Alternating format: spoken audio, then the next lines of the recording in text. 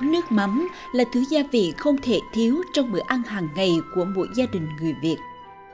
Bí quyết làm ra thứ gia vị ấy được cư dân vùng ven biển xứ Quảng truyền nhau từ đời này sang đời khác để giọt nước mắm ngày càng trở thành một thứ tinh túy.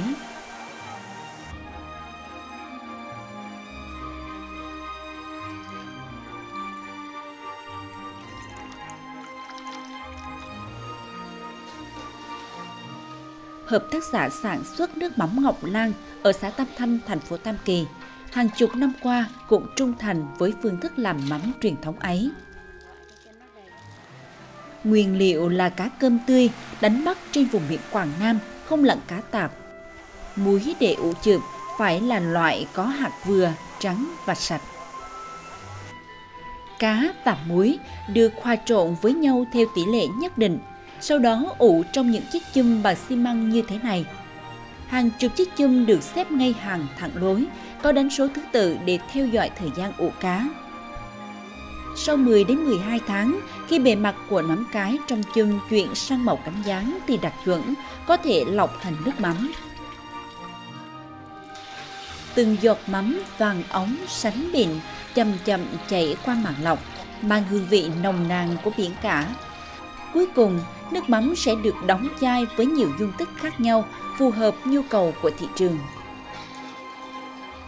Mắm của tôi so với nước mắm của của của người khác có cái đặc biệt là màu sắc và ừ, cái cái cái hương. Cái hương là hương tự nhiên của con cá. Nhưng còn cái màu nữa thì à, nó nó nó nó rất là đẹp nhưng mà nó có cái khuyết điểm là đĩa lao lắm là nó chuyển thành màu đen bởi vì nó không có ờ, chất bảo quản là một sản phẩm truyền thống đứng trước sự cạnh tranh lớn của rất nhiều thương hiệu nước mắm và nước chấm công nghiệp. Hợp tác xã sản xuất nước mắm Ngọc Lan chọn hướng đi đảm bảo sức khỏe, an toàn cho người tiêu dùng. Đó là nước mắm phải sạch, hương vị thơm ngon, sử dụng các nguyên liệu thiên nhiên, đảm bảo an toàn vệ sinh thực phẩm. Đặc biệt, từ khi tham gia chương trình ô cốp và được công nhận đạt chuẩn 3 sao vào năm 2020, nước mắm Ngọc Lan không chỉ chú trọng hơn về chất lượng mà còn thiết kế mẫu mã, bao bì, nhãn mắc, bắt mắt, chuyên nghiệp. Đây là tiền đề để thương hiệu nước mắm Ngọc Lan có chỗ đứng tại nhiều siêu thị và thị trường trong nước. Hiện tại, mỗi ngày hợp tác xã sản xuất nước mắm Ngọc Lan xuất ra thị trường khoảng 200 lít nước mắm các loại, mang lại nguồn thu nhập ổn định cho các thành viên trong hợp tác xã. Khi mà vào ô cốt rồi nữa là mình phải có được cái nguồn gốc nguồn gốc xuất xứ rõ ràng. À, à, về cái hạt muối đến cũng có à, chụp vào.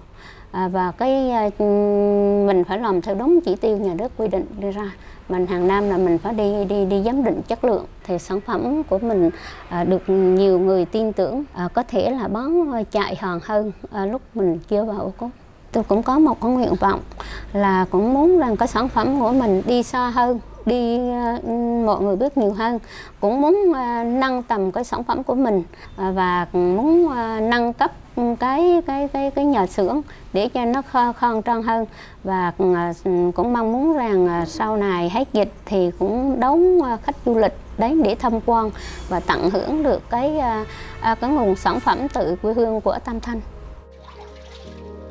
Cá cơm tươi và muối tự nhiên, hai thứ nguyên liệu dân dã cùng với cách làm kết hợp truyền thống và hiện đại đã làm nên nước mắm mang thương hiệu Ngọc Lan thơm ngon, khác biệt. Và nay, giọt nước mắm truyền thống ấy từng bước tiến vào thị trường trong hình hài là sản phẩm ô cốp 3 sao của Quảng Nam. Tin tưởng rằng với định hướng của hợp tác xã sản xuất nước mắm cùng những trợ lực hiệu quả từ chính quyền địa phương, thương hiệu nước mắm Ngọc Lan sẽ nhanh chóng lan xa mang đến hương vị đậm đà cho bữa ăn mỗi gia đình.